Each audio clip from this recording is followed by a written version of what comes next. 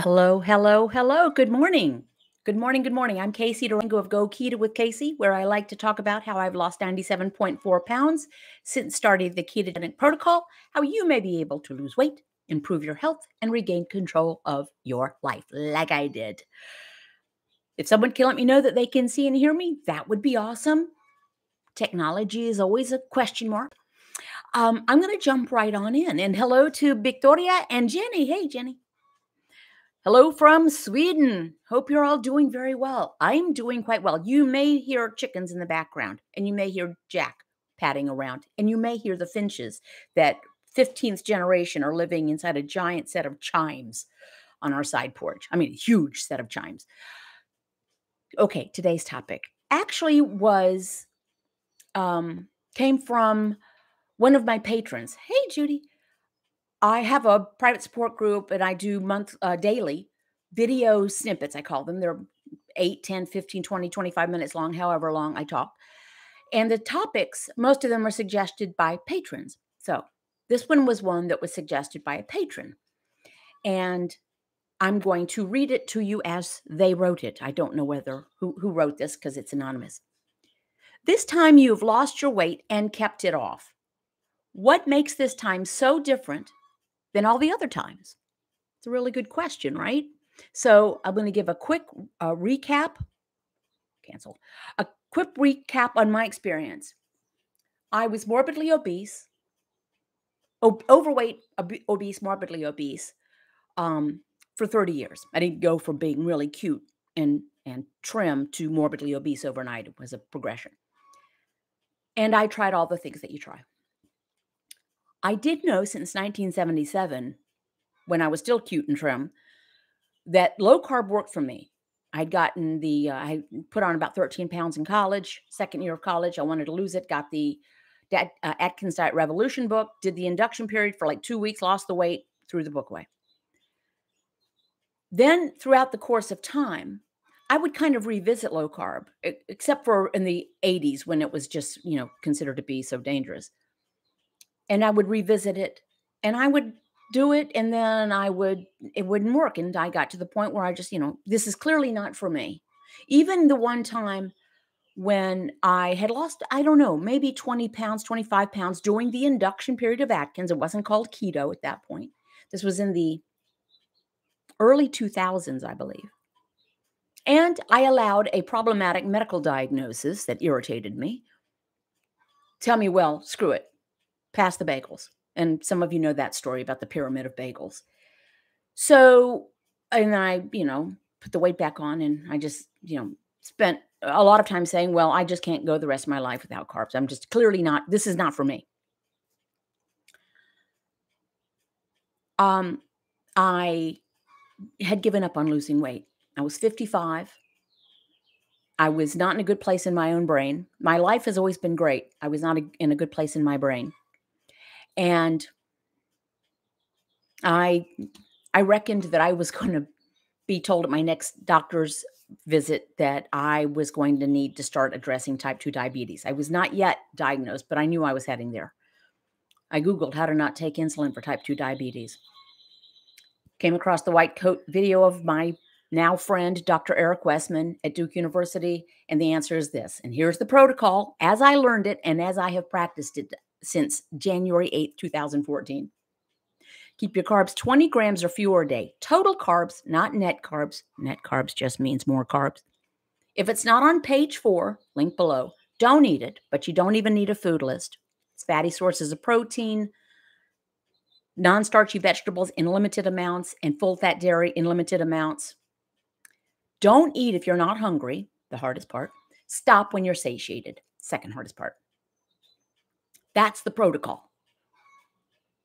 So I didn't count anything other than grams of carbohydrate. I didn't count grams of protein or fat. I didn't pay attention to time of day eating or the so called restricted whatever and the intermittent, whatever that word is. I'm not going to use it because I don't think that word means what people think it means. With a nod to the Princess Bride. That's all I did. I next time I ate, I laid off the carbs. So go to 2022. I have been weight stable for five years, going on six years. It will soon be six years. So, what was different this time? What was different? This time I lost the weight and I've kept it off as opposed to before. What was different? Now, interestingly, my husband, who is often, we're almost hip to hip when I'm doing these video snippets, he's preparing or eating his breakfast or preparing my coffee. He hears the snippet topic and he had a different take on that question. I mean, he thought the answer was. I'm going to tell you what his thought was, and this is true, and I've talked about this before. One difference was my motivation was different. I had thrown in the towel on losing weight. I just decided that the universe wanted me to be the fat, funny friend. That was my role. Smart, engaging, clever, gregarious, yet but fat. I gave up on losing weight. I didn't want to take insulin for type 2 diabetes. It became about my health and not about my cosmetics. And I also didn't feel well physically. Everything hurt. So he says, Well, there's the difference. But I, getting to the point, uh, let me see if I can pull this back up again. This time you have lost your weight and kept it off. What makes this time so different than all the other times? I didn't go off the plan. That's the difference. I mean, it's a really basic answer. I didn't stop. All the other times, for whatever reason, I stopped. I would I do great for 10 days. Then ah, no. See, what? Tortilla chips? I love tortilla chips. And I've had a rough day. And it's our ritual. We go to our favorite Mexican restaurant. We get three baskets of tortilla chips. How am I supposed to pass that up? I'm all the things we tell ourselves. What was different this time is I didn't do that. I just took it every meal at a time. I took it every 15 minutes at a time. I just laid off the carbs. There you go. That was the difference. And I dare say, and I in a, in a few minutes, I'm going to turn my attention to the lovely comments from the lovely people who come here. Usually the comments are lovely. Um, and I want to hear about your success stories, either scale victories or non scale victories or triumphs or whatever. But I know that there are people who it was their first at bat, second at bat, third at bat. It's very rare the person who does this and gets it the first time because we have to unlearn not only decades and generational decades of what we've been told, wrong information, we also have to overcome habits that have been ingrained to us since before we were making decisions about what we ate. A lot of this is habitual. So that was the difference. Why did I keep it off this time? It's because I didn't, I stick with the program. I'm not tweaking. I tweak minor things. I didn't reintroduce carbs at all.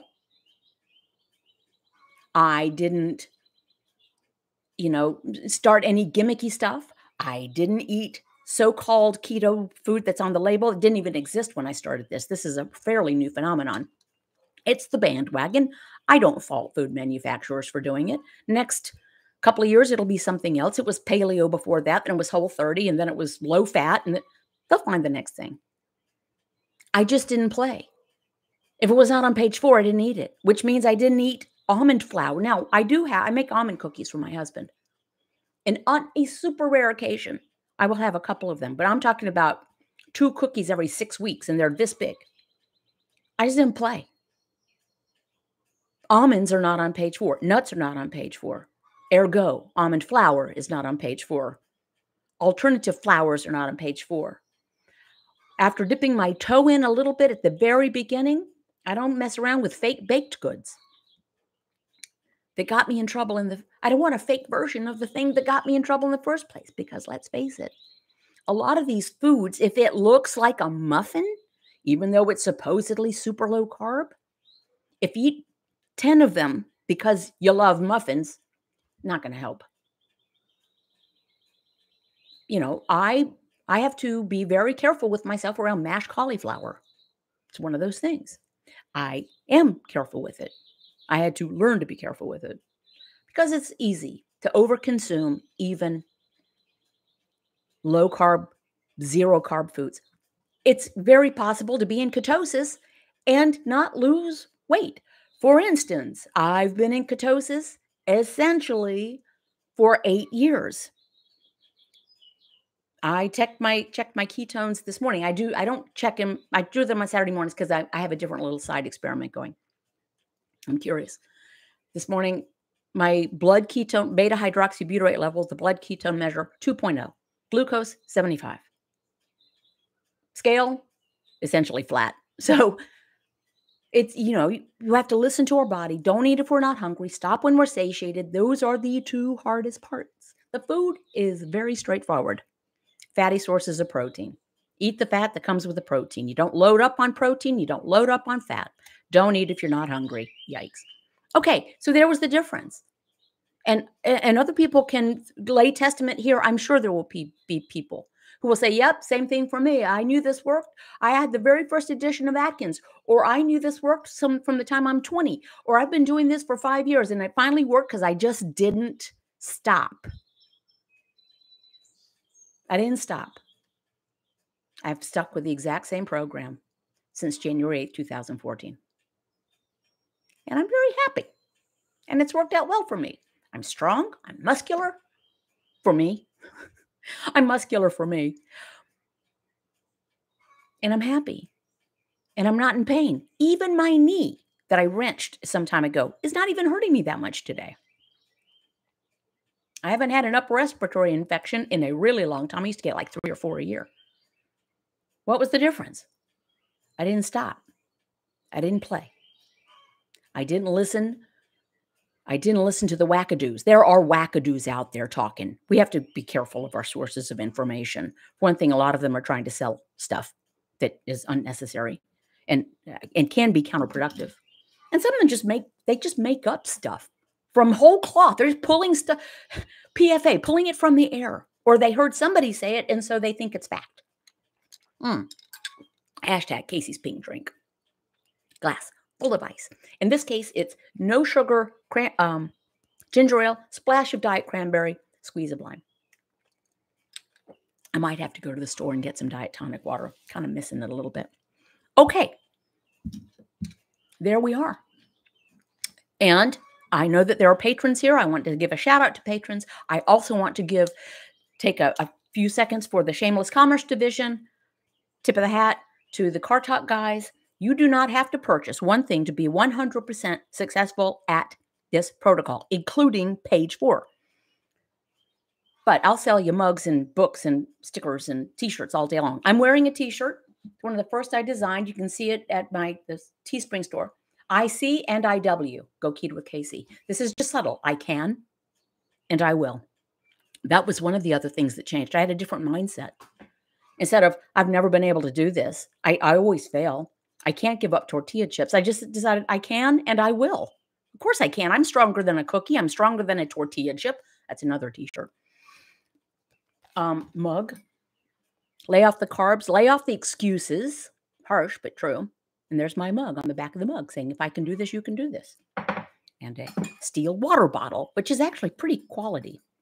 Go Keto with Casey and a bunch of stuff on the back a 12 month record book of this is just not dated because you can start this afternoon. You don't have to wait for next month or after the holidays or after whatever. It's just a bunch of stuff. You can see it. It's got inspirational quotes. One from Dr. Seuss You have your brains in your head, you have your feet in your shoes. You can steer yourself any direction you choose. Wisdom. You can see that at my blog, link below. Very few of these magnets left. Are you here out of hunger or out of habit? Like I'm almost out of these. Um, if hunger's not the problem, food is not the solution. And then other stuff. That commercial's over. I do want to say thank you to patrons. I have a private Patreon support group um, made up of a few hundred wonderful people. And depending on your pledge level, 20 uh, pre recorded video snippets from my kitchen counter every morning. I usually have pillow hair and runny makeup and may or may not have had coffee. The suggestions come from patrons. That's 20 of those a month. Going up from there, a handful of patron only live streams on Crowdcast a month. Going up from there, a handful of patron only video group sessions on Zoom a month. And going up from there, a 50 minute one on one with me. There, commercial over. Thank you. I do appreciate the patrons allow me to do this. So thank you. I will always provide public free content as long as people are interested, because those to whom much is given, much is expected. Now, I'm going to turn my attention to you guys. And I just jump in. Hey, Mary Manchester, concerned owl. Hi from Western Mass. Okay. Oh, I heard screech owls or barn owls. You guys will know better. Last uh, couple of mornings, it's like early morning, maybe 4 a.m., 3 a.m. I hear it sounds like people being tortured, but it's owls, I'm sure, every now and again. Hello from Maine, right? Stacy Jacobs, Rita Terez. Hi from Melbourne. Wow, it's um, it's the other time of day with you, Jenny. The generational decades are definitely something we must relearn. Years and years of carb and sugar overload. After one year on keto, it has been easy to get back up and after trial and error. We have to learn what works for us. Thank you, Jenny. Sharon Wild, is it true it's harder to lose weight with advanced age? Well, all I can tell you is I started at 55, which some would consider advanced stage. Sounds pretty young to me right now. I lost like I never lost before. Never. I did. You can see it in my blog, my not before photos, because none, none of those at my highest weight actually exist that I know of. I tried the summer of the triathlons. I trained for and participated in four or five sprint level triathlons, thinking, move more, eat less. Whole over the entire six months, I lost 11 pounds and I was really working out and trying training and and I was in I was hungry all the time and in pain. No, no, this works. I know that there are people in their 70s. My favorite story is of Marie, who gave up sugar. Uh, she, she and her son came to my Go Keto Casey roadshow in Portland, Oregon. And they drove down from Seattle. And she told the story about how she gave up sugar three years ago. And her life is so much better. And she does this, that. Great. That's that's great, Marie. When did you give up carbs? Three years ago. Oh, great, Marie. How old are you? 93. Okay, Marie can do it. We can all do it. I am going to change my screen a little bit so that I can read a little bit better. It's hard for me to read. Um, Karazi, the difference for me was the almost immediate reduction in cravings and feeling satisfied after having a meal. Never happened before. I was always hungry because if you're burning sugar for fuel because it can't be stored and it's a fast burning fuel, your brain tells you, get me some more, get me some more. When you're burning fat for fuel, it's not fast burning, and we've got plenty on board. It can be stored. It's stored as fat. Actually, glucose is stored as fat. Jenny writes, Indeed, the less cravings you get, the easier you can stick to it. That's the most important part of keto. The palate changes too, which is huge, and you get more satisfied on keto. I agree with all of that. I told myself, actually out loud, I can go the rest of my life without eating tortilla chips. I mean, it, you know, and if you tell yourself you can't do something, it definitely makes it difficult to do it. But now we go, we, well, it's been a really long time since we've gone because we can cook everything the way we like it. But the last time we went to our favorite Mexican restaurant, we were both fully keto. My husband started this about six months after I did, not for weight loss, but for health, just to, and he was not unhealthy. He just wanted to make sure he didn't become unhealthy with advancing age. We took our own pork rinds. The restaurant didn't care. They came with a basket of chips and we waved them off. They, okay, great. They brought salsa. We ate salsa and we had carne asada and pollo, pollo, whatever it was, and we enjoyed it. No rice, no beans, extra pico de gallo, spicy salsa, and meat. I couldn't have cared less about those tortilla chips. I wasn't tempted. I didn't crave them. I actually, they kind of seem, they kind of give me a headache when I think about them now. Heidi Crane from Minnesota. Hi from Minnesota. Uh, love your channel. Thank you. Christy Calichica, hello from, and good morning from California. Hey, L. Andrews writes, first time catching Casey live. Yay. Oh, uh, speaking of that, some people say, I never know when you're going live. I used to go at noon Eastern time on Saturdays. I've moved it to 9 a.m. Eastern on Saturdays if you subscribe, I don't like to ask people, say, subscribe to me and give me them. I don't love that. But if you want to be notified when I'm going to go live, you do need to subscribe and click the bell icon, the notification icon. But you also need to make sure your device or whatever you're using allows notifications from YouTube because you can have it set on YouTube. But if you've told your phone or your tablet or whatever, I don't want to hear any notifications, you won't get the notifications. Okay. Um, hello from Tejas. Texas, writes Linda Bridges. Kathy L., how can we get your help? Well, uh, I don't know what kind of help you are talking about or, or need, but my Patreon support group is a really good place to start. I've often said I think people become patrons not to get access to me, but access to each other. But if you want to check it out, go to my blog. I try to have my blog as the clearinghouse for everything that I talk about. Concerned Al, does the Patreon have a group where you can Oh, yeah, absolutely. Have a group where we can chat, get help or suggestions from other. Well, there's the Zoom group group sessions. Um yeah, there are videos. It's like a Zoom session with whoever is on it. There are the live streams where people chat with each other on Crowdcast, which is very much like this type of live stream, except it's on Crowdcast and different type of platform. Um, but yeah, absolutely. And then of course there's one-on-one support. Charlene Johnson was watching some of the speakers at Salt Lake City Conference yesterday. I don't remember which speaker said this, but it made sense to me. You crave what you eat. That would have been Dr. Eric Westman. Yeah, you do. If you don't eat it, you don't crave it. Here we, we by the way, the Durham support group meetings with Dr. Eric Westman and me are starting back up in real life, in person, in May, May 3rd, at the Durham Hilton near Duke. Um, and we i moderate the meetings with him so it's two of us and people ask questions they come up but he always says casey ask me if i crave cigarettes and i'll say dr westman do you crave cigarettes and he'll say no and i'll say why not he says because i won't smoke I mean, almost every time absolutely uh, Queenie in the house. Hi, all. Victoria Oh, I really like this new time. Good. I'm so glad. Jackie Bennett. Me too. Casey and coffee. I actually have a mug on the Teespring that says coffee with Casey. I bought one and then I dropped it. I need to buy another one. Stephanie love your glasses. Thank you. Amazon, seven sets of readers in all different colors. These are my favorite, the tortoiseshell. $15.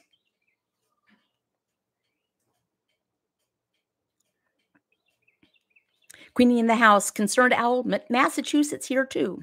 Thank you. And Christy Chica, a little early for California, but no worries. I'm an early riser anyway.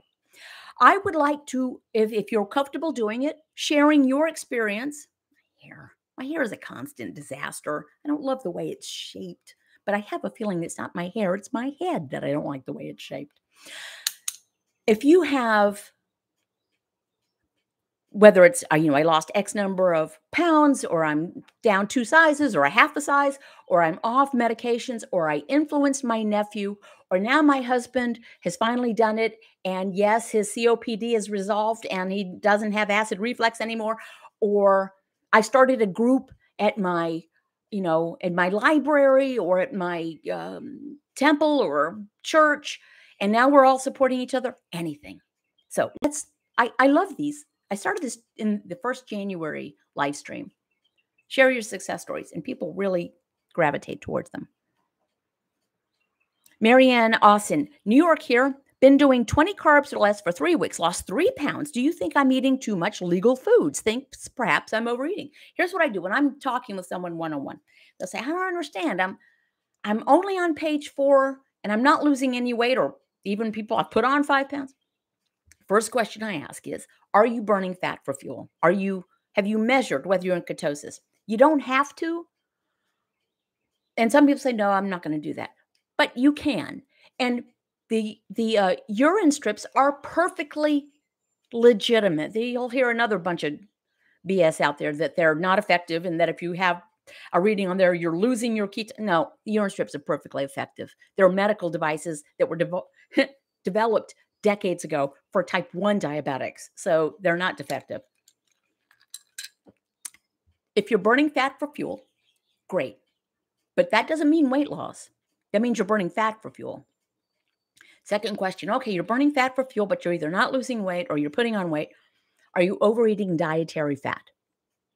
Fat bombs, which is, you know, there are probably 2,500 Facebook groups and YouTube channels about and cookbooks about fat bombs. No, oily coffee, bunch of, you know, loading up your coffee with butter, MCT oil, coconut oil, and Lord knows what else. If you're burning fat for fuel, but you're consuming by mouth all this extra dietary fat, your body doesn't need to burn body fat because it's getting what it needs by your mouth. Eat the fat that comes with the protein. That's not considered added dietary fat. Poultry with the skin, eggs with the yolks, ribeye with the fat, bacon with the fat, chuck, ground chuck with the fat, ground beef with the fat, pork chops with the fat. Do just eat the fat that comes with the protein. He said, No, no, I'm not doing any of that. I'm not overeating dietary fat at all. I'm just doing, okay. Well, it might be that you're consuming eh, more food than your body requires, or if you're maintaining the amount of food your body requires. Yes, it is very, and we have to relearn this. We eat too much food, y'all. We eat too much food. It's that simple. Almost all of us eat too much food. Queenie in the house was vegan for two years, got ill, keto few months, fibromyalgia gone, and brain coming back. Hot diggity dog. Uh, Christy Kalichika, if it says keto on the package, leave it on the shelf and don't buy it. There's really almost no shelf stable product that is is keto friendly. They have got to add stabilizers to make them shelf stable. stabilizers. And those are almost always starches, which is sugar. Um, Karazi, the increased energy is wonderful. I am so much more active and living life, not just observing it. Re enter your life, man. Marlene Easton, love your videos. I've learned so much from you. Thank you. Thank you. Thank you. Stephanie Lynn, yes, so much more energy. Did 45 minute, minutes of aerobics yesterday, and I'm 64. Yes, you. Mary Manchester, what range should your ketones be? Okay, thank you, Mary, for the question. Now, you can be losing weight and feeling good and not register anything. So people's body chemistry can be different. But if you want to go by, with, you know, if you're using the urine strips, first of all, don't test first thing in the morning because the acetoacetate, which is the byproduct of burning fat for fuel that is measured in the urine, can be diluted because your bladder's full because you've been in bed all night. So, test if the color is anything other than than taupe, neutral. If it's light, light pink, light pink, pink, light, light purple, purple, dark purple, any of those, anything other than neutral, you're burning fat for fuel. Congratulations. On the blood meter, uh, it has been accepted 1.5 millimolars per liter to three, but that's kind of old stuff. And Stephen Phinney is now saying it because they're doing a lot of research in Virta Health, depending on your body type and your body composition, 0.5, 0.4, 0.3 millimolars. For instance, I was two this morning. But that's my body chemistry. I've been known to have 5.7, but that's my body chemistry. My husband, he's happy if he gets to 1.0. He's burning fat for fuel. But it, it you have to find your range. Mostly you can go by how you feel. Minnie Pearl 105. Good morning from Texas. Um, Donna Ter lost 11 pounds in three weeks. Feel great. That's great. Linda Bridges. I need to replay this every hour. I'm letting life get in my way big time. If hunger's not the problem, food is not the answer. Life is always going to come at you. I use that excuse so many times. Uh, on my calendar, my 2022 calendar I made um, for people bought. Uh, there's a one month that says, uh, when making food decisions, employ the BLAST method, B L A S T. Don't make a decision about eating if you're bored, lonely, angry, stressed, or tired. Otherwise, you know, other in other words, when you're vulnerable. Judy Porterfield, good job, everyone. So many success stories. Keto for life, not a diet, a lifestyle. It is technically a diet. I mean, people get all verklempt about it. Diet is a noun as well as a verb. People follow a kosher diet. They don't say it's a kosher way of life. It is a diet, like a vegan diet. It's a diet and it's also a way of eating. Concerned owl, my ketones blood tested are always super high, point 4.0 to 6.0. That's fantastic. It's your body chemistry. But you don't get extra points in heaven for having higher points. I mean, people say, oh, I wish I could have like you do. No. I'm like I said, if burning fat for fuel, high ketone readings, blood ketone readings meant weight loss, I would be see through. I'm not. I just feel good. Can you hear the chickens? Jeez. That's Dory and Speckle, I believe. Dory just is a loudmouth. Speckle likes to announce when she's laid an egg. You can see our eggs. This is some of them. We got more back there. Jenny Elkloff. Consistency on keto affects every part of my life. I'm going to guess you mean that, oh my gosh, I've gotten so consistent, I've had success. What else have I thought maybe I wasn't ready to do or couldn't do? And now I'm going to try. Because if I can lay off the carbs when I thought I never could, hmm, maybe I can do other things. And Dory writes Mary Manchester. Mary's a patron. They hear my chickens. Um, concern writes, I wish they were lower. I'm worried I may. Uh, there's that's not that's another thing. That's not it. You're not. Oh gosh, I've gone too far in the weight loss, weight fat loss range. No, if you're burning fat for fuel, you're burning fat for fuel. It's like being pregnant. You either are or you aren't. So don't worry about that.